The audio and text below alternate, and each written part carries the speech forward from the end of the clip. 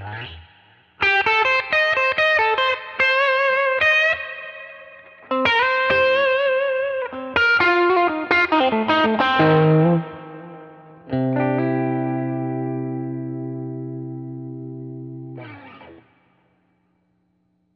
everybody, Keith here from Carter Vintage. Thanks for watching the video. If you'd like a little more info on this 1950 Fender Broadcaster, hit the link in the description. Don't forget to like and subscribe.